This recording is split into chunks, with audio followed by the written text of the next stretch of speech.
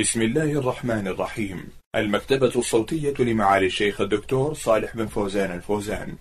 شرح كتاب المنتقى في الأحكام الشرعية من كلام خير البرية صلى الله عليه وسلم. للعلامة مجد الدين بن تيمية الحراني رحمه الله. الدرس المئة. بسم الله الرحمن الرحيم. الحمد لله رب العالمين والصلاة والسلام على نبينا محمد وعلى آله وأصحابه أجمعين. ما بعد قال المؤلف رحمه الله تعالى باب وجوب تكفين الشهيد في ثيابه التي قتل فيها. بسم الله الرحمن الرحيم. الحمد لله رب العالمين صلى الله وسلم على نبينا محمد وعلى آله وأصحابه أجمعين. قدم لنا أن مما يجب للميت تكفينه تكفينه بالثياب. إلا آه، بالثياب يعني غير ثيابه الذي التي مات فيها. غير ثيابه التي مات فيها. بل تكون جديدة وتكون من الأبيض. هذا هو السنة والأفضل. إلا الشهيد فإنه يدفن بثيابه التي قتل فيها وعليها آثار الدم لتكون علامة على شهادته يوم القيامة. يأتي يوم القيامة يثعب دم لونه لون الدم وريحه ريح المسك. نعم. باب وجوب تكفين الشهيد في ثيابه التي قتل فيها. عن ابن عباس رضي الله عنهما قال أمر رسول الله صلى الله عليه وسلم يوم أحد بالشهداء أن ننزع عنهم الحديد والجلود وقال ادفنوهم بدمائهم وثيابهم. رواه أحمد وأبو داود وابن ماجه. شهداء أحد يعني وقعة أحد. وهي الوقعة التي حصلت عند جبل أحد قريب المدينة بين الرسول صلى الله عليه وسلم وأصحابه وبين المشركين الذين جاءوا لينتقموا مما أصابهم في وقعة بدر. قد رتبهم النبي صلى الله عليه وسلم رتب أصحابه وجعل طائفة من الرماة المهرة جعلهم على الجبل جبل من ورائهم يحمون ظهور المسلمين لئلا ينقض عليهم العدو من خلفهم فدارت المعركة على هذا الترتيب. الصحابة يقاتلون من أمامهم والرماة يحمون ظهورهم. فانتصر المسلمون في أول الأمر. وشرعوا يجمعون الغنائم. فظن الرماة الذين على الجبل أن المعركة قد انتهت. وأنه لم يبق إلا جمع الغنائم. فقالوا ننزل نشارك إخواننا في جمع الغنائم. قال لهم أميرهم عبد الله بن جبير رضي الله عنه إن رسول الله صلى الله عليه وسلم يقول لا تنزلوا لا تتركوا الجبل لا تتركوا الجبل. سواء انتصرنا أو هزمنا. ولكنهم أصروا ونزلوا ولم يبق إلا أميرهم وقليل معه. فالمشركون اغتنموا الفرصة وانتهزوا الفرصة انقضوا على المسلمين من خلفهم. أصبح المسلمون بين الكفار. من الأمام ومن الخلف. دارت المعركة من جديد فحصل على المسلمين ما حصل. قتل منهم سبعون استشهد منهم سبعون. وحصل أن الرسول صلى الله عليه وسلم شج في رأسه وكسرت رباعيته سنه الرباعية.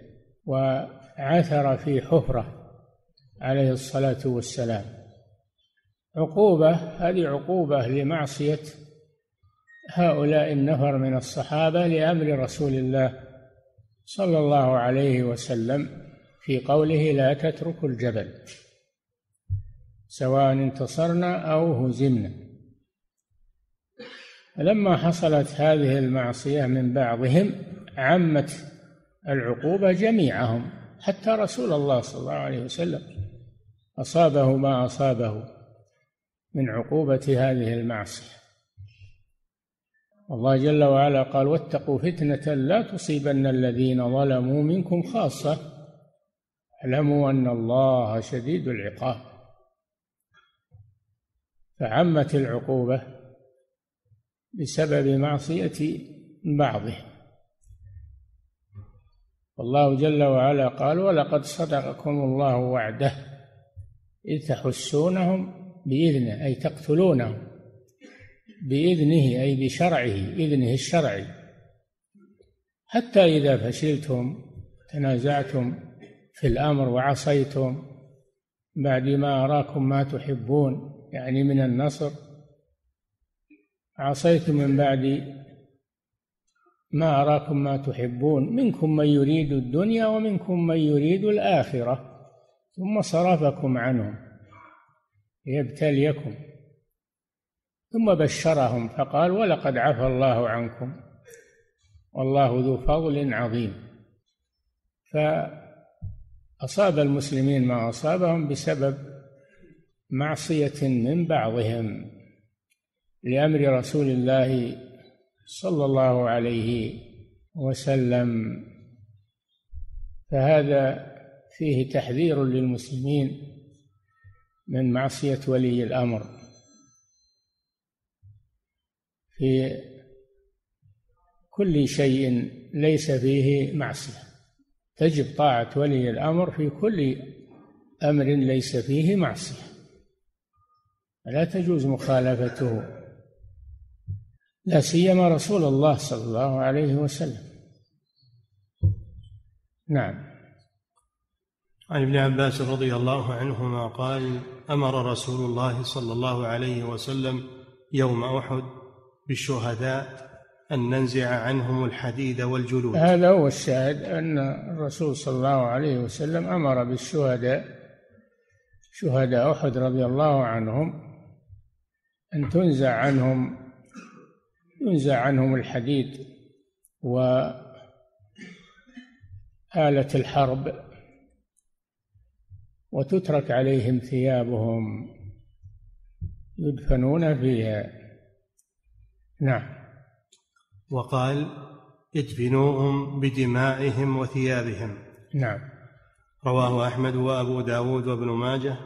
بدمائهم التي سالت على إثر الاستشهاد في سبيل الله وثيابهم التي قتلوا فيها ليبقوا على صورتهم يوم أن قتلوا ويبعثهم الله يوم القيامة على هذه الصورة المشرفة الصورة العظيمة.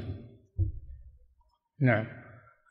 وعن عبد الله بن ثعلبة رضي الله عنه أن رسول قال عبد الله بن مسعود رضي الله عنه لما سمع قوله تعالى منكم من يريد الدنيا قال ما علمت أن أحدا من الصحابة يريد الدنيا حتى نزلت هذه الآية؟ نعم. عن عبد الله بن ثعلبة رضي الله عنه أن رسول الله صلى الله عليه وسلم قال يوم أحد زملوهم في ثيابهم وجعل يدفن في القبر الرهط جملوهم بثيابهم يعني ادفنوهم بثيابهم ولا تنزعوها عنهم. نعم.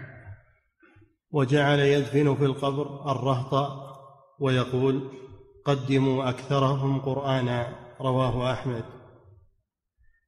لما كان الشهداء كثيرين يشق على الصحابة أن يحفروا لكل واحد قبر. فأمر صلى الله عليه وسلم أن أن يدفن في القبر أكثر من واحد تيسيرا على المسلمين. في هذا اليوم دل على جواز ذلك إذا كثر الموتى أو القتلى وشق أن يحفر لكل واحد قبر فإنهم يدفنون دفنا جماعيا. الاثنين والثلاثة في قبر واحد تسهيلا على المسلمين. وأيضا يقدم إلى القبلة أفضلهم. أفضلهم أخذا لكتاب الله يقدم حفظة القرآن على غيرهم لفضلهم إلى القبلة. نعم.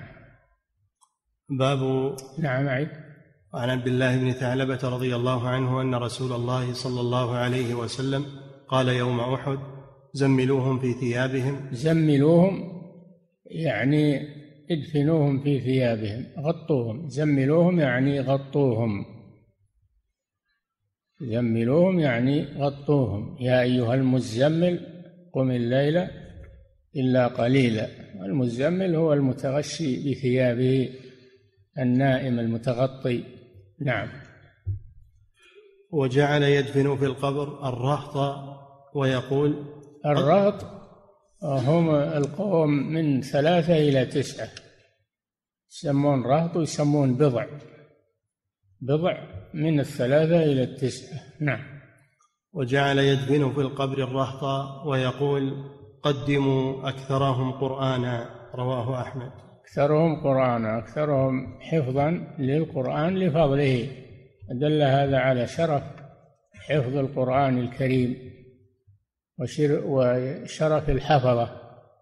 إذا كانوا يعملون ب إذا كانوا يعملون بما في القرآن ولم يقتصروا على مجرد الحفظ والتلاوة الصحابة لا شك أنهم أولى الناس بالعمل بالقرآن وأول الناس عملا بالقرآن.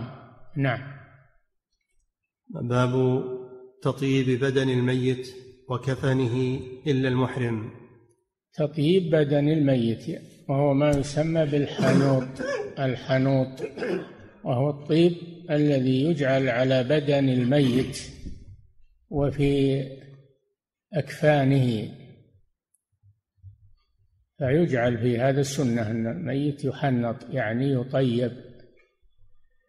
إلا آه، إلا المحرم. فإن المحرم إذا مات وهو محرم يجنب الطيب لأن إحرامه باق عليه كما يأتي. نعم. باب تطيب بدن الميت وكفنه إلا المحرم. بدن الميت يعني يطيب بدنه وكفنه بالطيب.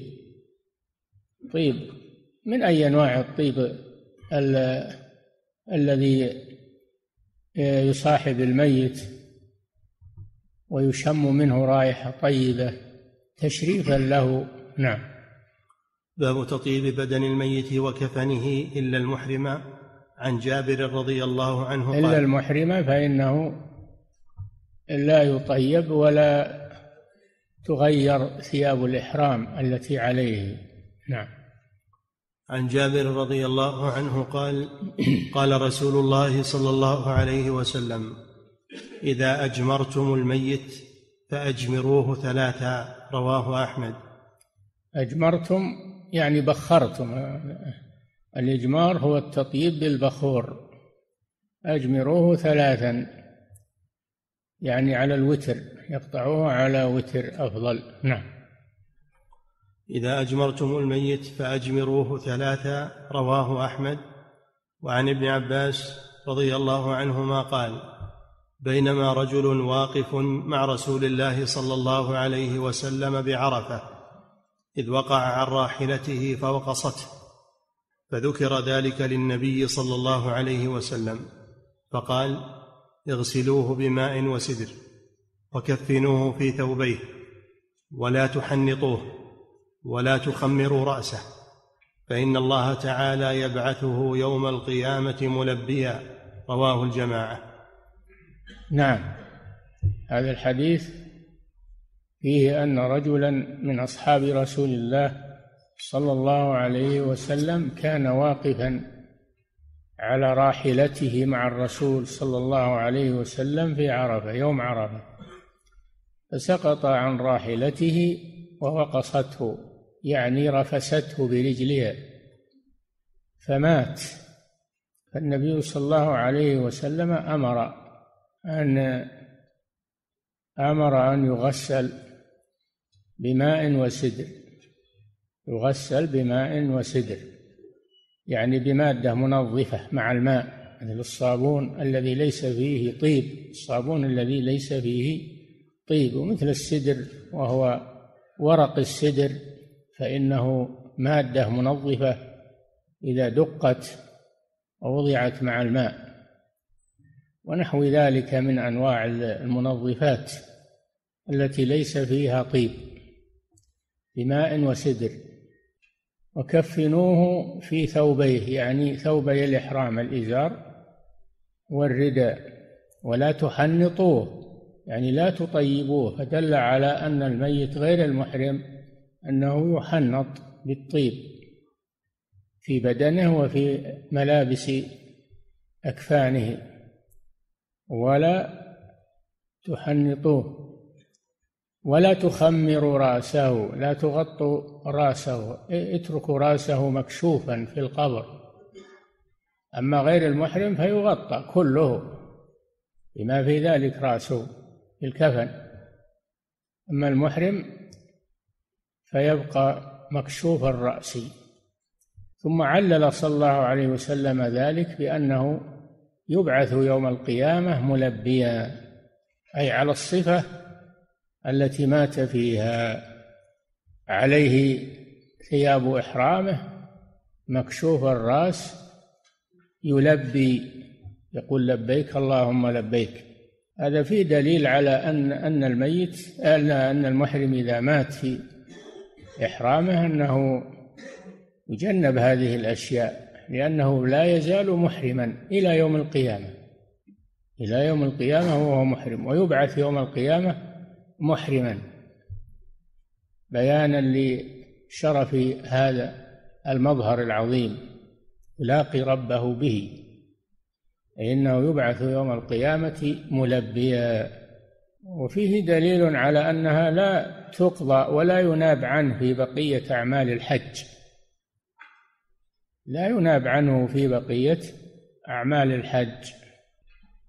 بل هو باق فيها هو باق فيها لا لا يحتاج إلى نيابة. نعم. وللنساء عن ابن عباس رضي الله عنهما قال قال رسول الله صلى الله عليه وسلم اغسلوا المحرم في ثوبيه اللذين أحرم فيهما.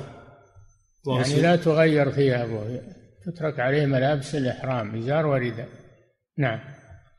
واغسلوه بماء وسدر. ماء وسدر. السدر معروف هو الشجر المعروف. ورقه منظف. إذا دق و اغتسل به فإنه ينظف الجسم وينظف اليدين. نعم. وكفنوه في ثوبيه.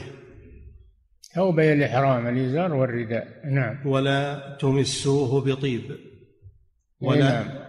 لا العادة أن الميت يطيب ويسمى الحنوط المحرم لا لا يطيب لأنه محرم والمحرم يتجنب الطيب نعم.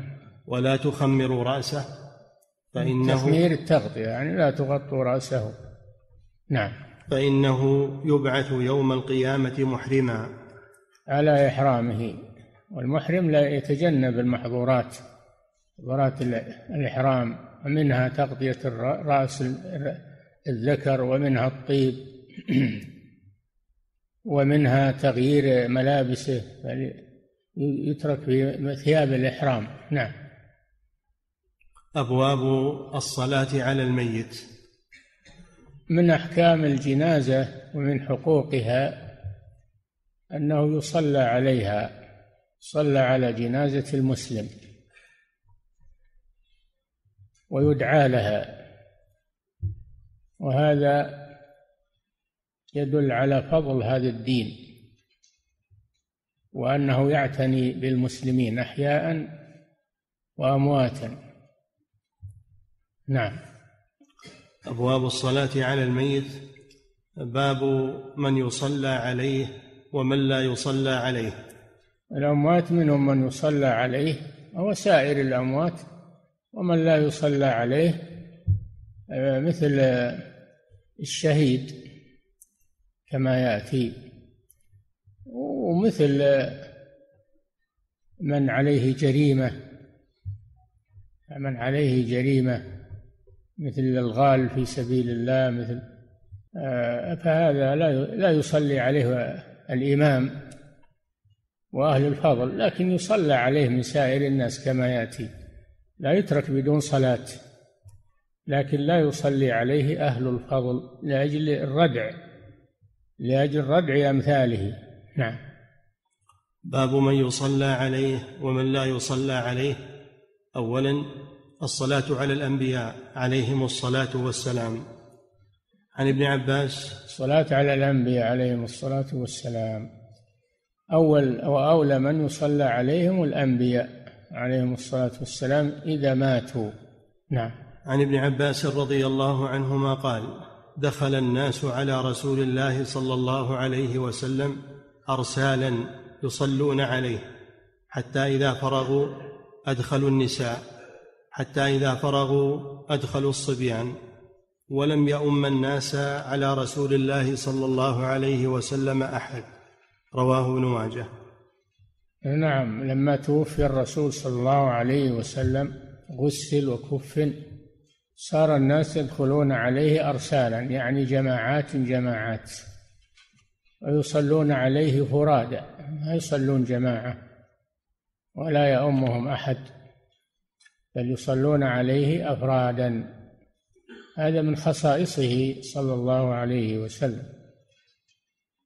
يقدم النساء الرجال أولا يدخلون عليه ويصلون فإذا فرغ فرغ من الرجال تدخل النساء أرسالا ويصلين عليه.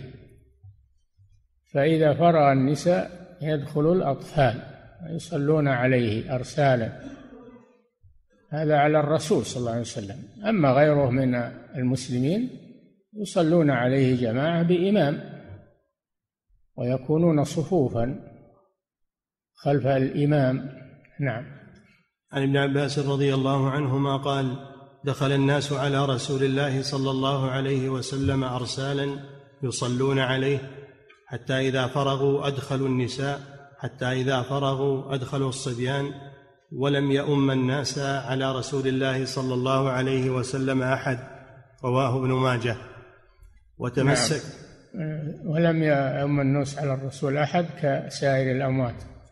هذا من خصائصه صلى الله عليه وسلم وفيه ترتيب الناس الرجال اولا ثم النساء ثم الأطفال. النساء تقدم على الأطفال. نعم. رواه ابن ماجه. وتمسك به من قدم النساء على الصبيان. تمسك بهذا الحديث من يرى تقديم النساء في صلاة الجنازة على الصبيان وهم الصغار الذين لم يبلغوا. نعم. وتمسك به من قدم النساء على الصبيان في الصلاة على جنائزهم وحال دفنهم في القبر الواحد. وحال قبرهم في دفنهم في القبر الواحد. إذا دفن رجال ونساء وأطفال في قبر واحد قدم الرجال إلى القبلة ثم خلفهم النساء ثم خلفهم الأطفال في اللحد في القبر. نعم. ثانيا ترك الصلاة على الشهيد. عن نعم ترك الصلاة على الشهيد في سبيل الله. الشهيد في سبيل الله الذي قتل في المعركة مع الكفار. لإعلاء كلمة الله عز وجل. هذا هو الشهيد. هذا لا يصلى عليه. لأن الرسول صلى الله عليه وسلم لم يصلي على شهداء أحد. نعم. عن أنس رضي الله عنه أن شهداء أحد لم يغسلوا ودفنوا ودفنوا بدمائهم. نعم. لتبقى أثر الشهادة عليهم لم يغسلوا ويزال عنهم الدم لتبقى آثار الشهادة عليهم. نعم. أن شهداء أحد لم يغسلوا ودفنوا بدمائهم ولم يصلى عليهم. ولم يصلى عليهم. هذا فالشهيد في المعركة لا يصلى عليه. أما الشهيد الذي جرح في المعركة ونقل منها حيا ومات خارج المعركة فإنه يصلى يغسل ويصلى عليه. له حكم الجنائز. نعم. ولم يصلى عليهم رواه أحمد وأبو داود والترمذي. وقد. الشهداء على قسمين شهداء في الدنيا والآخرة وهم الذين قتلوا في سبيل الله في المعركة. شهيد في الدنيا والآخرة. إذا كان يقاتل لإعلاء كلمة الله. والثاني والنوع الثاني شهداء في الآخرة.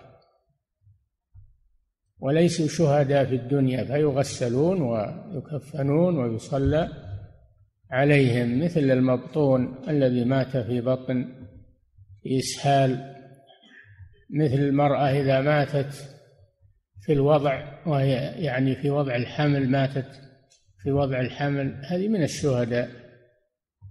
مثل من مات بحادث مفاجئ كالح- كالحرق والغرق والهدم ونحو ذلك. هؤلاء يغسلون ويكفنون ويصلى عليهم وهم شهداء عند الله في الآخرة. نعم لكن في الدنيا يعاملون معاملة الأموات.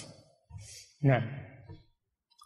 لم يغسلوا ودفنوا بدمائهم ولم يصلى عليهم رواه أحمد وأبو داود والترمذي. وقد أسلفنا هذا المعنى من رواية جابر. وقد وقد رويت الصلاة عليهم بأسانيد لا تثبت. نعم اختلف العلماء في الصلاة على الشهداء بعض العلماء يرى أنهم يصلى عليهم لعموم الأدلة على الصلاة على الميت وفيه آثار لكنها لم تثبت أنهم يصلى عليهم والذي ثبت أنهم لا يصلى عليهم. نعم. وقد رويت الصلاة عليهم بأسانيد لا تثبت. نعم. ثالثا الصلاة على السقط والطفل. الصلاة على السقط وهو من نفخت فيه الروح نفخت فيه الروح. هذا يعامل معاملة الجنائز إذا سقط من بطن أمه ميتا إذا سقط من بطن أمه ميتا أو مات بعدما ولد فإنه يعامل معاملة جنائز المسلمين. يغسل ويكفن ويصلى عليه ويدفن في مقابر المسلمين. وأما من مات قبل أن تنفخ فيه الروح فإنه يدفن بدون شيء. لا يأخذ أحكام الجنائز. ومع علامة أنه نفخت فيه الروح إذا بلغ أربعة أشهر. إذا بلغ أربعة أشهر هذا علامة نفخ الروح فيه. لحديث ابن مسعود أن أن أحدكم يجمع خلقه في بطن أمه أربعين يوما نطفة ثم أربعين يوما علقة ثم أربعين يوما نطفة ثم أربعين يوما نطفة يعني مني ثم أربعين يوم علقة ثم أربعين يوما مضغة. مضغة يعني قطعة لحم ثم يرسل إليه الملك بعد الأربعين الثالثة إذا دخل في الأربعين إذا دخل في الأربعين الرابعة يرسل الملك إليه في بطن أمه فينفخ فيه الروح بأمر الله عز وجل ويأخذ أحكام آه، الكبار. نعم. الصلاة على السقط والطفل عن المغيرة. ابن شعبة رضي الله عنه عن النبي صلى الله عليه وسلم قال الراكب خلف الجنازة والماشي أمامها قريبا منها عن يمينها أو عن يسارها والسقط يصلى عليه ويدعى لوالديه بالمغفرة والرحمة رواه أحمد وأبو داود وقال فيه والماشي يمشي خلفها وأمامها وعن يمينها وعن يسارها قريبا منها. نعم هذا المشيع اللي يشيعون الجنازة الركبان يكونون أمامها والمشاة خلفها. الركبان يكونون أمامها والمشاة يكونون خلفها أو عن يمينها أو عن شمالها. هذا في التشييع والسقط يصلى على هذا محل الشاهد من الحديث. والسقط وهو الذي نزل من بطن أمه لأربعة أشهر فأكثر. نعم والسقط والسقط يصلى عليه ويدعى لوالديه بالمغفرة والرحمة. الصلاة تشتمل على الدعاء للميت وإذا كان الميت لم يكلف إذا كان سقطا يعني لم يكلف يدعى لوالديه فيقال اللهم اغفر لوالديه اللهم اغفر لوالديه واجعله ذخرا واجرا وشفيعا مجابا. اللهم ثقل به موازينهما وأعظم به أجورهما. نعم. أن النبي صلى الله عليه وسلم قال الراكب خلف الجنازة والماشي أمامها قريبا منها عن يمينها. الراكب. الراكب خلف الجنازة. يعني بالعكس ما قلنا الراكب يكون خلف الجنازة. يعني هذا من باب السنة يكون خلف الجنازة والماشي أمامها. نعم. والماشي أمامها قريبا منها عن يمينها أو عن يسارها والسقط يصلى عليه ويدعى لوالديه بالمغفرة والرحمة. رواه أحمد وأبو داود وقال فيه والماشي يمشي خلفها وأمامها. نعم. وعن يمينها وعن يسارها قريبا منها. وفي رواية الراكب خلف الجنازة والماشي حيث شاء منها والطفل يصلى عليه. رواه أحمد والنسائي والترمذي وصححه. قلت وإنما يصلى عليه. قلت المصنف المجد رحمه الله. نعم. قلت وإنما يصلى عليه إذا نفخت فيه الروح. وهو أن يستكمل أربعة أشهر. نعم. فأما أن يستكمل أربعة أشهر هذا هو السقط وقد تنفخ فيه الروح قبل أربعة أشهر لكن الحد الفاصل من أربعة أشهر فما فوق. نعم. لا نعلم إذا نفخت فيه قبل أربعة أشهر. نعم. وإنما يصلى عليه إذا نفخت فيه الروح وهو أن يستكمل أربعة أشهر فأما إن سقط لدونها فلا لأنه ليس بميت إذ لم ينفخ فيه روح. ليس بميت لأنه من الأصل ما نفخت فيه الروح. إنما الميت هو من خرجت روحه بالوفاة هذا هو الميت. أما من لم تنفخ فيه الروح هذا لا يقال له ميت. نعم. وأصل ذلك حديث ابن مسعود رضي الله عنه قال حدثنا رسول الله صلى الله عليه وسلم. أصل ذلك يعني دليل ذلك. نعم. وأصل ذلك حديث ابن مسعود رضي الله عنه قال حدثنا رسول الله صلى الله عليه وسلم وهو الصادق المصدوق. الصادق في خبره المصدوق فيما أخبر عليه الصلاة والسلام. قال تعالى وما ينطق عن الهوى إن هو إلا وحي يوحى. نعم. إن خلق أحدكم يجمع في بطن أمه أربعين يوما ثم يكون علقة مثل ذلك ثم يكون مضغة مثل ذلك ثم يبعث الله إليه ملكا بأربع كلمات يكتب رزقه وأجله وعمله وشقي أم سعيد. ثم ينفخ فيه الروح متفق عليه. نعم لأربعة أشهر فأكثر هو وقت نفخ الروح. بعين يوم نطفة يعني مني. بعين يوم علقة يعني دم.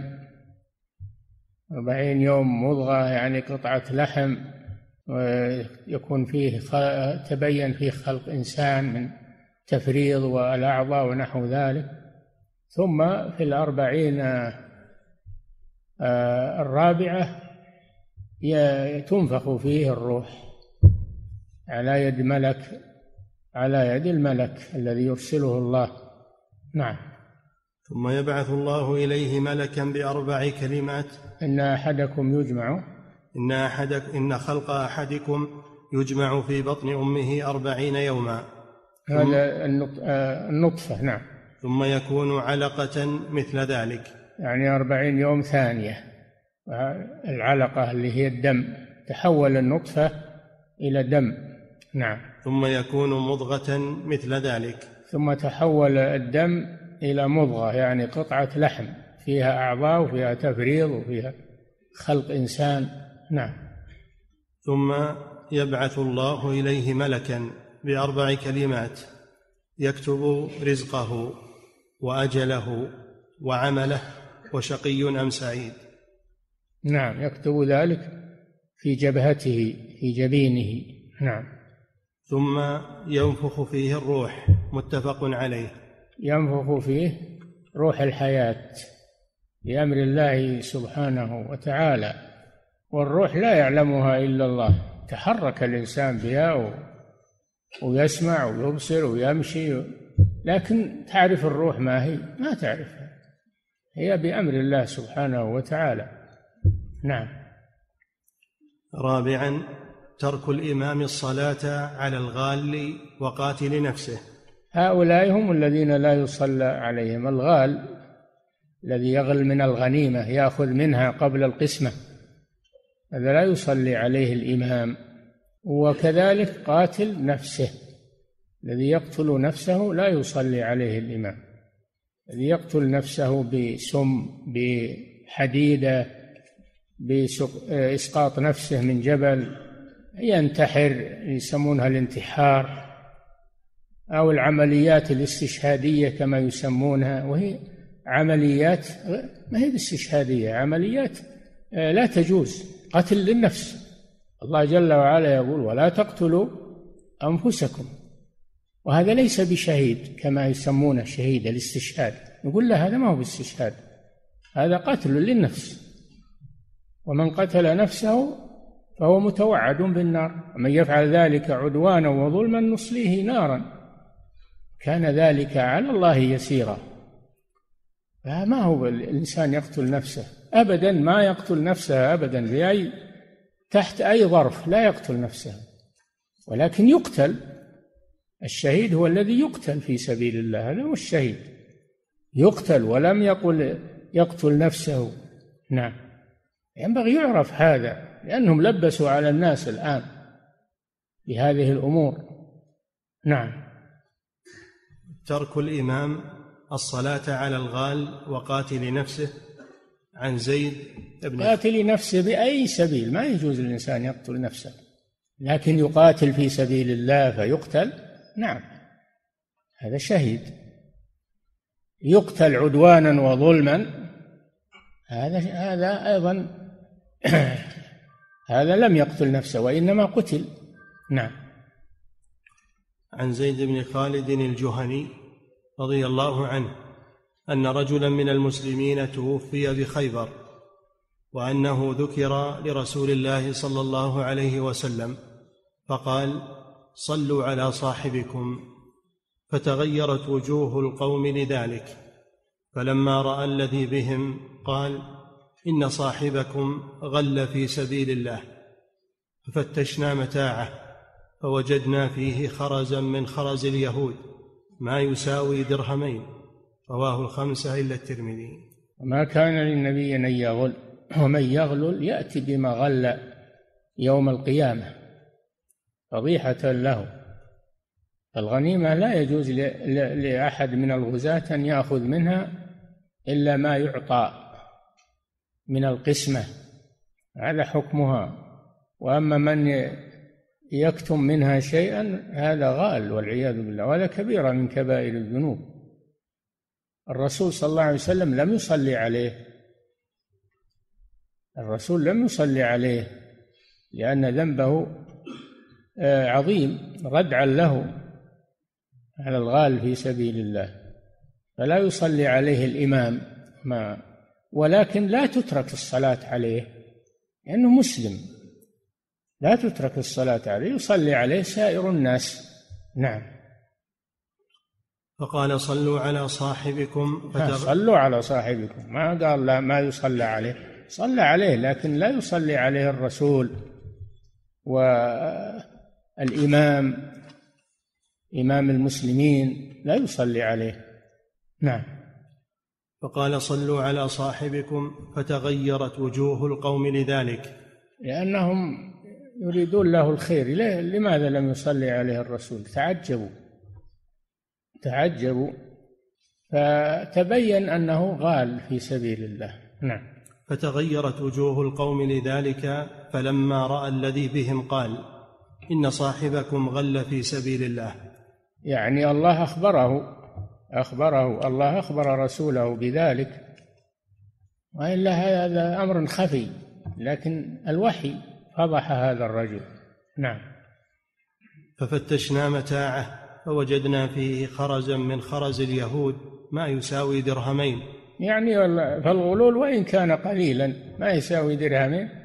ومع هذا حرمه من صلاة الرسول صلى الله عليه وسلم. نعم. وعن جابر بن سمرة رضي الله عنه أن رجلا قتل نفسه بمشاقص فلم يصل عليه النبي صلى الله عليه وسلم رواه الجماعة إلا البخاري. قتل نفسه بمشاقص نوع من السلاح جزع والعياذ بالله فقتل نفسه. هذا دليل على أن الإنسان لا يقتل نفسه بأي حال. يصبر إذا مرض يصبر إذا أصابته شدة إذا جرح يصبر ولا يقتل نفسه تحت أي ظرف. فإن قتل نفسه فهو متوعد بالنار. نعم. اللي يفجرون ويقتلون أنفسهم في هذا التفجير من هذا النوع. قتلوا أنفسهم والعياذ بالله. نعم. عن جابر بن سمرة رضي الله عنه أن رجل أن رجلا قتل نفسه بمشاقص فلم يصل عليه النبي صلى الله عليه وسلم. رواه الجماعة إلا البخاري. نعم. خامسا الصلاة على من قتل في حد. نعم من قتل في حد كحد الرجم وحد آه، حد الحرابة وحد هذا يصلى عليه.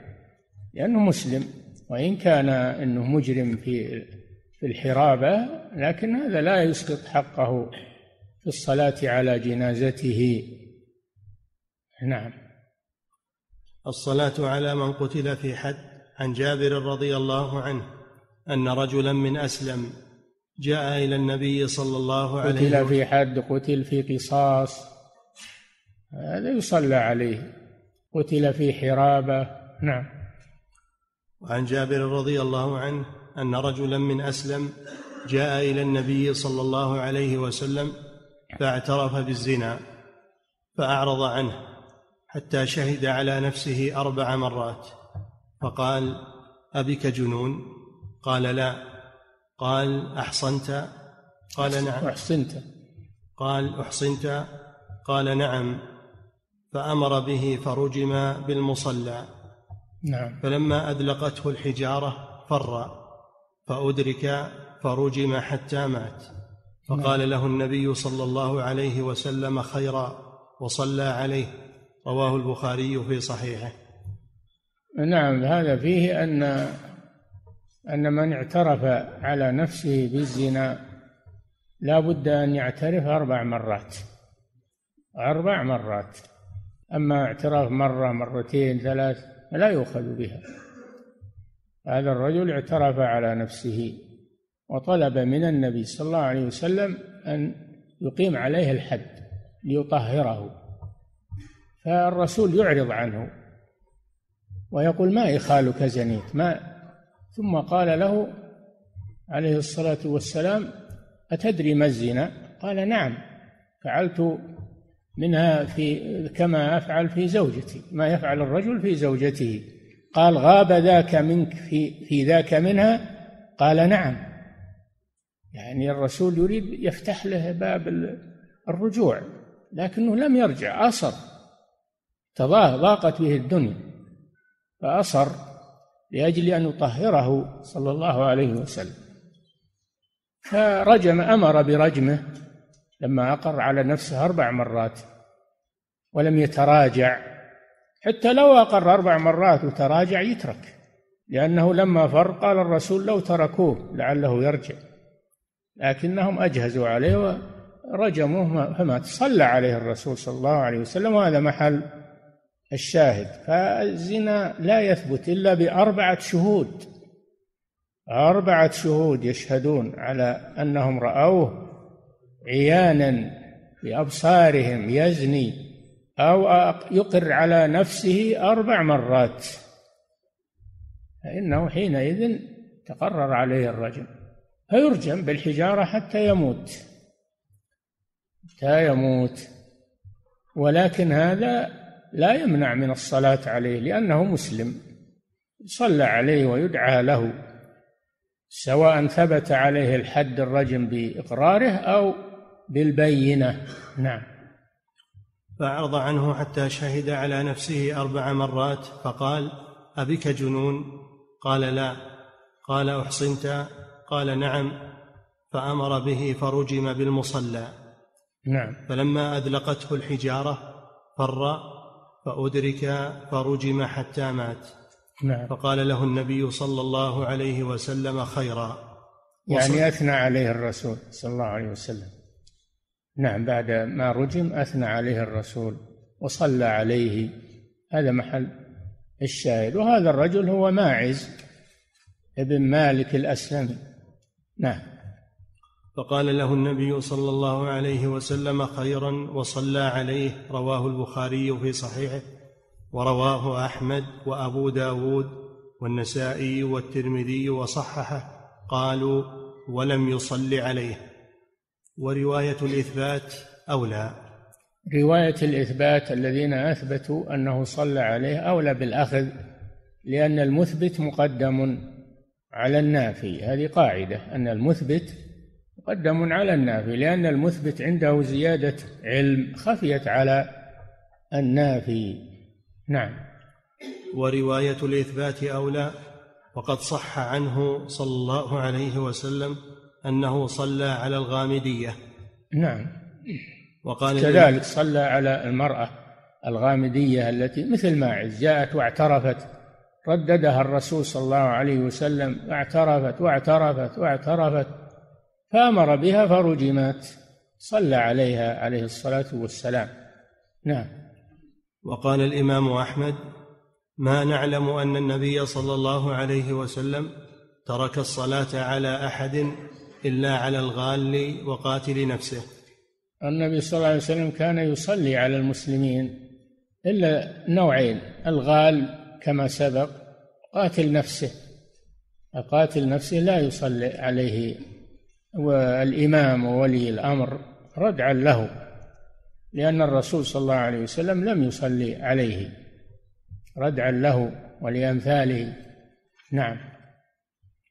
وقال الإمام أحمد ما نعلم أن النبي صلى الله عليه وسلم ترك الصلاة على أحد إلا على الغال وقاتل نفسه. قاتل نفسه. شوف قاتل نفسه. الحين يقولون لا اللي يقتل نفسه في العمليات الاستشهادية هذا شهيد. نقول لا ما هو شهيد هذا فعل محرما واستوجب النار والوعيد حتى ما يصلى عليه من أهل الفضل. كيف تقولون أنه شهيد؟ نعم.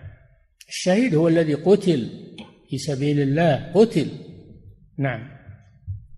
سادسا الصلاة على الغائب بالنية وعلى ال... يكفي. نعم.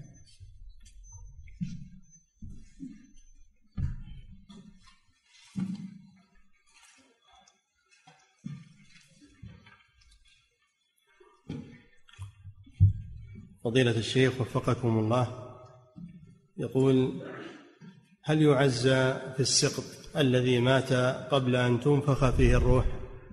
لا. ما يأخذ أحكام الجنازة. لم إذا لم تنفخ فيه الروح لا تثبت له أحكام الجنازة. ومنها التعزية نعم.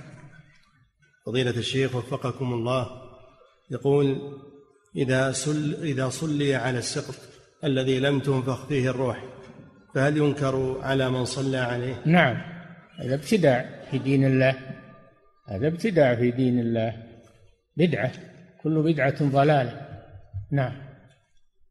فضيلة الشيخ وفقكم الله الصلاة على الميت هي شفاعة له ورسول الله صلى الله عليه وسلم ليس بحاجة إلى شفاعة أحد فما توجيه ذلك؟ نعم. ما ما هو محصورا في أنه شفاعة له. هو محصور. هذا من من معاني الصلاة عليه الشفاعة له. وإلا هي مفروضة على كل مسلم. مفروضة على كل مسلم. حق له. نعم.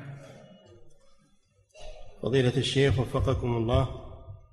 يقول هل تجوز الصلاة على الميت قبل غسله؟ لا. من شروط صحة الصلاة على الميت أن يكون ذلك بعد تغسيله. إن صلى عليه قبل التغسيل لم تصح الصلاة عليه لا بد من إعادتها. نعم. فضيلة الشيخ وفقكم الله هل ثبت أن النبي صلى الله عليه وسلم صلى على عمه حمزة رضي الله عنه وكان يصلي على كل من مات ثم يكرر الصلاة على حمزة معه؟ ما صلى على ما ثبت إنه صلى على حمزة لكن زاره ودعا له. نعم أما الصلاة عليه ما ثبت إنه صلى عليه. نعم. فضيلة الشيخ وفقكم الله يقول ما ورد من أنه صلى الله عليه وسلم كان يخرج إلى شهداء أحد فيصلي عليهم. صلي عليهم يعني يدعو لهم يا أخي. الدعاء يسمى صلاة. خذ من أموالهم صدقة تطهرهم وتزكيهم وصل عليهم يعني ادعو لهم. نعم. فضيلة الشيخ وفقكم الله هل يؤخذ من حديث فإنه يبعث يوم القيامة ملبيا وحديث أن الشهيد يوم القيامة إذا بعث فإن جرحه يكون لونه لون الدم وريحه ريح المسك؟ يقول هل يؤخذ من هذا أن كل من مات على هيئة حسنة أو قبيحة أنه يبعث عليها. هذا من من علم الغيب الذي لا يعلمه إلا الله. أو أو الرسول بتعليم الله له. فنحن لا نحكم لأحد إلا بدليل. إلا بدليل. ثبت الدليل في حق المحرم الذي مات في إحرامه وفي حق الذي الذي قتل في سبيل الله. نعم. فضيلة الشيخ وفقكم الله السقط إذا مات وقد نفخت فيه الروح فهل تكون الصلاة عليه واجبة أو مستحبة؟ لا واجبة. واجبة لأنه صار إنسانا صار إنسانا مسلما يحكم بإسلامه. نعم. يأخذ أحكام جنازة المسلم. نعم. فضيلة الشيخ وفقكم الله هل أحكام المحرم المذكورة في باب الجنائز تنطبق على من كان حاجا أو معتمرا أو هي للحاج فقط. نعم. الأحكام المحرم المذكورة في باب الجنائز وتغسيله وتكفينه. إنما نجيب شيء من عندنا ولا نقيس هذا ما يدخله القياس. هذا تبع النص فقط نمشي على النص لأن أمور الآخرة من علم الغيب الذي لا يعلمه إلا الله. نعم. فضيلة الشيخ وفقكم الله يقول رجل أحرم من المطار. أه؟ رجل أحرم في المطار. في إيش؟ في المطار. في المطار. نعم. حسبك تقول في المطاف. في المطار. نعم, نعم. ثم توفاه الله. فهل يعامل معاملة المحرم أم يغطى رأسه ويفعل به كالميت غير المحرم؟ نعم الميت إذا مات في إحرامه يعامل مثل ما عومل مع بأمر الرسول صلى الله عليه وسلم. يعامل في هذا نعم. فضيلة الشيخ وفقكم الله بقوله صلى الله عليه وسلم ولا تخمروا رأسه. وردت زيادة رأسه ولا وجهه. رواية في مسلم. يقول هل يقول يقول بعض العلماء إن زيادة الثقة مقبولة فهل يؤخذ من ذلك؟ أن المحرم الجمهور يقولون لا رأسه بس ما يغطى رأسه. الجمهور. ومن المحدثين من يقول رأسه ووجهه. وهذا أخذ به الشيخ بن باز رحمه الله. فيرى هذا. نعم. فضيلة الشيخ وفقكم الله. يقول إذا خشي المصلي على الجنازة أو إذا خشي من أراد الصلاة على الجنازة أن تفوته الصلاة. إذا إذا خشي من أراد أن يصلي على الجنازة أن تفوته الصلاة وهو محدث فهل له أن يتيمم؟ وهو محدث. فهل له أن يتيمم؟ لا. ما, ما لم تجدوا ماء. ما يجوز التيمم إلا لأحد أمرين. إما مريض ما يقدر على على على استعمال الماء وإما مسافر لا يجد الماء. لم تجدوا ماء فتيمموا. نعم. فضيلة الشيخ وفقكم الله يقول ما ورد أن الصحابة رضوان الله عليهم صل... لكن إذا توضأ إذا توضأ يصلي على الجنازة. إما قبل دفنها وإما بعد دفنها على القبر. ما, ما تفوت صلاة الجنازة. نعم. فضيلة الشيخ وفقكم الله ورد أن الصحابة رضوان الله عليهم صلوا على النبي صلى الله عليه وسلم أرسالا ولم يؤمهم أحدهم. يقول هل هذا كان بأمر الرسول عليه الصلاة والسلام أما الداعي إلى ترك الإمام؟ هذا بإجماع الصحابة أنهم لم يقدموا إماما يصلي بهم على الرسول صلى الله عليه وسلم. هذا خاص بالرسول عليه الصلاة والسلام. نعم.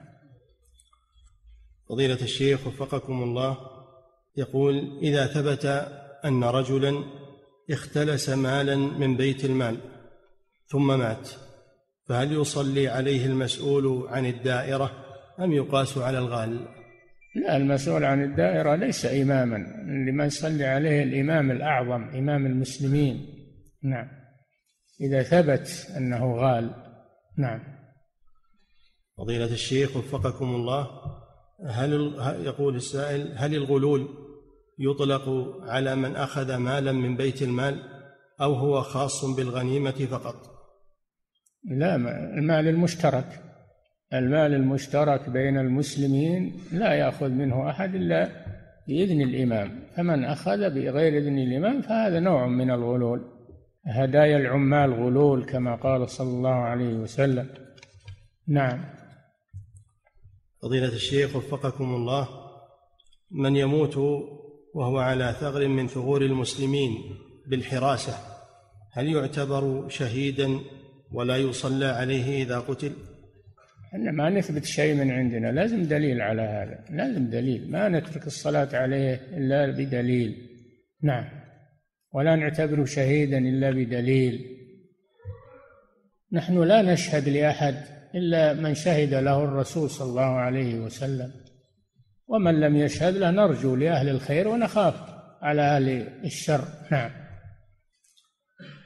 فضيلة الشيخ وفقكم الله. يقول هل صحيح أن عامر ابن الأكوع رضي الله عنه لما أراد أن يضرب مشركا ضرب نفسه بالسيف فظن الصحابة أنه قتل نفسه؟ فبين لهم رسول الله صلى الله عليه وسلم أنه شهيد؟ نعم ارتد عليه سيفه ارتد عليه سيفه فمات. صار شهيدا لأنه يريد نصرة الحق. نعم. فضيلة الشيخ وفقكم الله يقول السائل امرأة حامل وتوفيت في حادث سيارة فهل نعم. امرأة حامل؟ وحصل لها حادث سيارة وتوفيت. هل تعتبر هذه داخلة في الشهداء؟ من مات بحدث حادث مفاجئ من المسلمين ترجى له الشهادة ترجى له الشهادة لكنها مثل ليست مثل الشهادة في سبيل الله. نعم. فضيلة الشيخ وفقكم الله يقول السائل إذا أصيب الرجل بمرض يقول مستعص كالسرطان عافانا الله وإياكم وعلم أنه ميت لا محالة فهل يجوز له أن يوقف مثبطات المرض والعلاج لكي يسرع إليه الموت إذا اشتد به الألم؟ تداوي مباح ليس واجبا. تداوي مباح ليس واجبا. إن شاء تداوى وإن شاء لم يتداوى أو لازم إلا عند بعض العلماء يرى أنه واجب لكن عند الحنابلة يقول يباح التداوي اتفاقا. نعم ولا ولا ينافي التوكل. هذا في متن الزاد. يباح التداوي اتفاقا ولا ينافي التوكل على الله سبحانه وتعالى. إن شاء تداوى وإن شاء لم يتداوى. نعم. نعم. فضيلة الشيخ وفقكم الله هل ورد أن النبي صلى الله عليه وسلم ترك الصلاة على من عليه دين فيكون هذا نوعا ثالثا تترك الصلاة عنه؟ هل؟ هل ورد أن النبي صلى الله عليه وسلم ترك الصلاة على من عليه دين اي نعم ثبت أنه ترك الصلاة على من عليه دين هذا في أول الأمر. لكن لما فتح الله الفتوح وجاءت المغانم إلى الرسول صلى الله عليه وسلم صار يسدد عن المدين من بيت المال ويصلي عليه نعم فضيلة الشيخ وفقكم الله يقول الزاني إذا شهد عليه أربعة شهود وأنكر هو ذلك فهل يقام عليه الحد؟ أي نعم إذا شهد عليه أربعة شهود قامت عليه البينة. نعم. فضيلة الشيخ وفقكم الله الذي يقر على نفسه بالزنا هل لا بد أن يقر على نفسه أربع مرات في مجلس واحد؟ لا ما هو بلازم في مجلس واحد. إذا أقر على نفسه أربع لأنه الذين أقروا عند الرسول ماعز والغامدية ما كانوا في مجلس كانوا يترددون على الرسول كل يوم يطلبون منه إقامة الحد عليهم. نعم. فضيلة الشيخ وفقكم الله من وقع في جريمة الزنا فهل الأفضل له أن لا يعترف بذنبه بل يتوب بينه وبين الله؟ نعم الأفضل له إذا لم يبلغ السلطان ذلك الأفضل له أن يتوب إلى الله ويستر نفسه. نعم. فضيلة الشيخ وفقكم الله إذا دفن السقط الذي نفخت فيه الروح ولم يصلى عليه فما الواجب حينئذ على والده؟ صلي على قبره صلى على قبره. إذا فاتت الصلاة على الميت قبل دفنه يصلى على قبره. نعم. فضيلة الشيخ وفقكم الله هذا يقول إنه إمام مسجد. ويسأل يقول هل لي أن أصلي على الجنازة قبل صلاة الإمام؟ لأنني لا أستطيع الصلاة عليها في المسجد معهم بل أذهب إلى مسجدي قبل لا ذلك. لا ما تعتدي على الإمام. الإمام أولى بالصلاة على الجنائز التي في مسجده فلا تعتدي عليه. صل معهم إذا صلى ولا إذا أنه ما تيسر لك الحمد لله. تذهب المسجد الصلاة في مسجدك واجبة عليك أما الصلاة على الجنازة ليست واجبة عليك. نعم الأمر واسع في هذا. ولا هي بنهابه المسألة ما يفعلون الآن ينهبون الصلاة على الجنائز يروحون. هذا ما يصلح. نعم. فضيلة الشيخ وفقكم الله يقول هل يجوز الدعاء للميت جماعة بعد دفنه ويكون الدعاء في المقبرة؟ هل هل يجوز الدعاء للميت بعد دفنه؟ الدعاء جماعة في المقبرة؟ جماعة لا لكن يقفون على قبره بعد الفراغ من دفنه ويستغفرون له ويسألون الله له التثبيت وقت سؤال الملكين هذا ورد عن الرسول صلى الله عليه وسلم أمر به صلى الله عليه وسلم قال استغفروا لأخيكم اسألوا له التثبيت.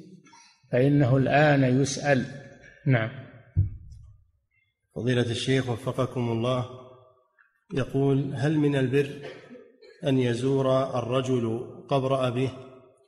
اي نعم من البر الدعاء لأبيه بعد موته أو ولد صالح يدعو له زيارة قبره السلام عليه هذا من البر.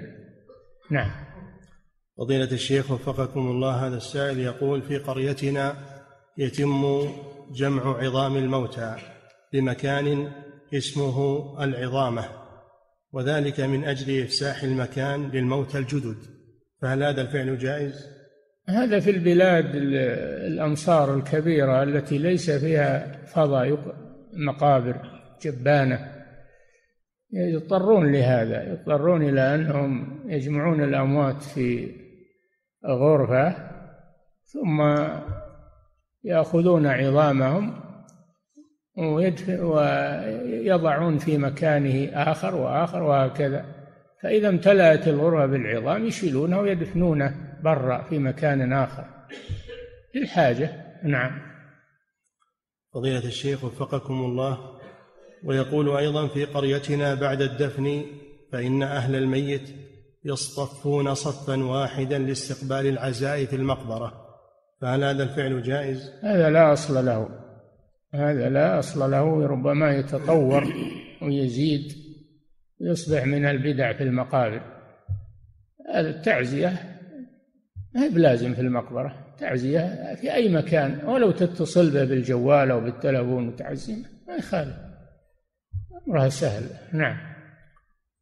فضيلة الشيخ وفقكم الله. يقول مر معنا في الحديث أن أن النبي صلى الله عليه وسلم أقام حد الرجم في المصلى فهل يجوز إقامة الحدود في المساجد؟ ما هو في المسجد في المصلى مصلى العيد يعني كان صحراء كان صحراء نعم فضيلة الشيخ وفقكم الله الأحاديث التي ذكر فيها أن رسول الله صلى الله عليه وسلم صلى على من أقيم عليه الحد هل فيها رد على الخوارج والمعتزلة؟ اي نعم اللي يكفرون الكبائر هذا رد صريح عليهم لأن الزنا كبيرة ومع هذا صلى النبي صلى الله عليه وسلم على المرجوم. هذا رد على الخوارج. يقول إنه كافر. نسأل الله العافية. نعم. فضيلة الشيخ وفقكم الله إذا مات المجنون والمعتوه وصلي عليه فهل يدعى له مع أنه غير مكلف أم يدعى لوالديه؟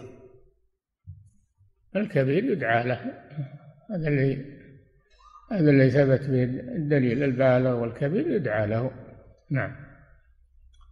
فضيلة الشيخ وفقكم الله يقول من قتل نفسه جزعا وتسخطا من أقدار الله فهل يقال بأنه كافر بذلك؟ لا ما يقال إنه قال إنه قاتل لنفسه مستحق للوعيد مستحق للوعيد ولا يترك ما يصلى, يصلى عليه لأنه ما زال مسلما لكنه ارتكب كبيرة وعرض نفسه للوعيد. نعم.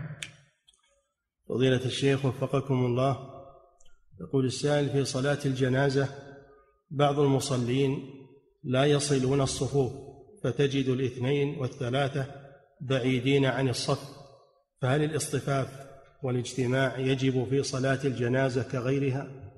نعم الاصطفاف يكون في صلاة يجب في صلاة الجنازة ولكن كل ما كثرت الصفوف فهو أفضل.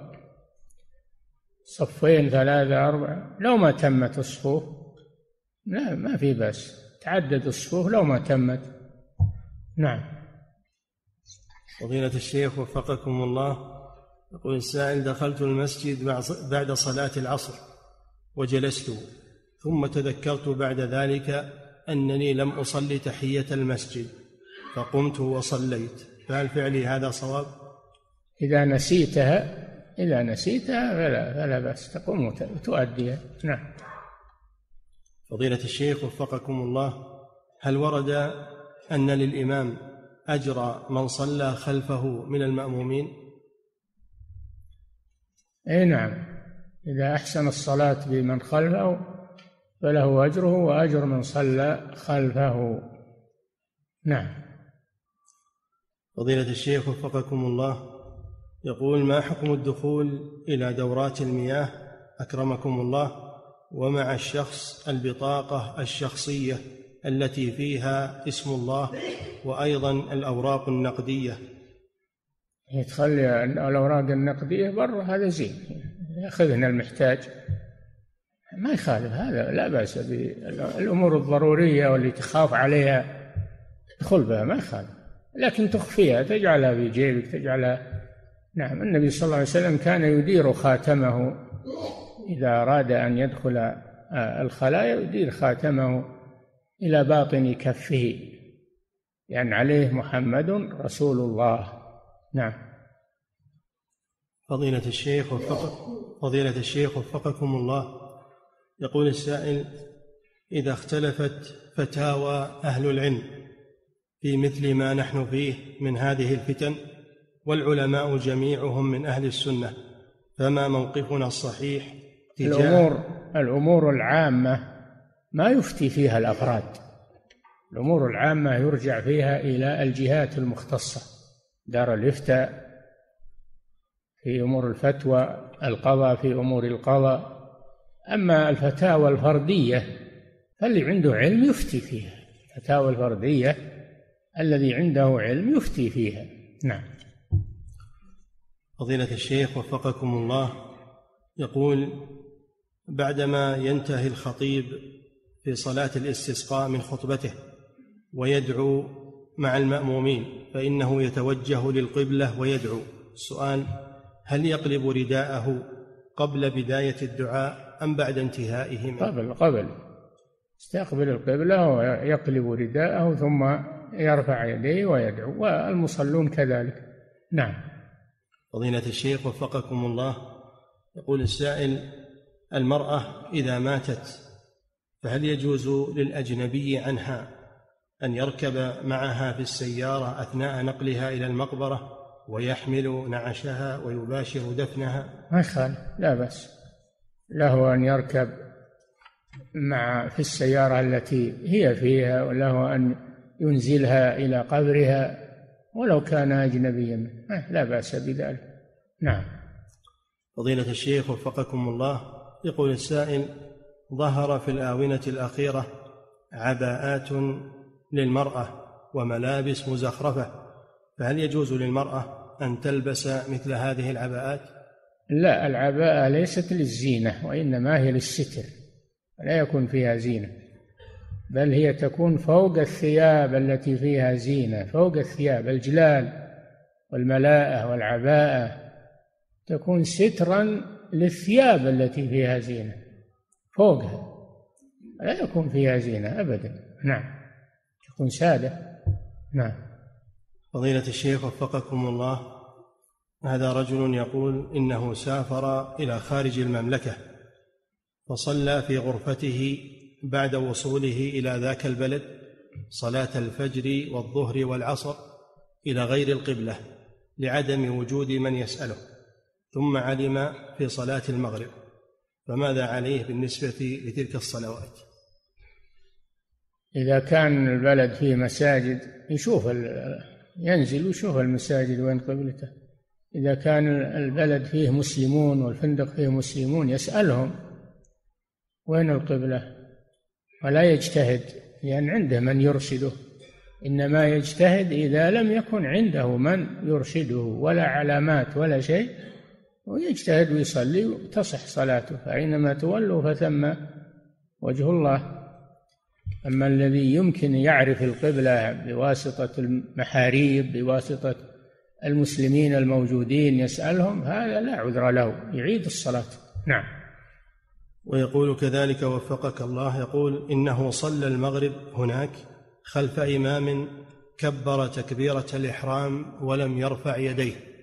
وسلم تسليمة واحدة عن يمينه فهل الصلاة صحيحة خلفه؟ نعم الصلاة صحيحة صلي خلفه لا بأس ولا تترك الجماعة لأن رفع اليدين ما هو بواجب هذا سنة.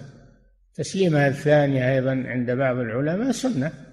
المسألة يعني أمرها سهل ولله الحمد لكن ولا يترك الصلاة الجماعة. نعم. فضيلة الشيخ وفقكم الله. ولو كان الإمام يخالف في بعض المسائل اللي هي محل نظر ومحل ما, ما يخالف صل ورا. لو أنك ترى أن الراجح غير ما ذهب إليه ما يخالف. نعم. المسلمون أو الأئمة الأربعة وأتباعهم يصلي بعضهم خلف بعض مع أن بينهم خلاف في كثير من المسائل. نعم. فضيلة الشيخ وفقكم الله هذا سائل يقول قد حججت في العام الماضي وقال لنا المسؤول عن الحملة أن نطوف طواف الوداع قبل مغادرة مكة بيوم فطفنا. يقول هل علينا فدية في ذلك؟ إذا كنتم بقيتم في مكة بعد طواف الوداع قمتم يوم أو أو بتم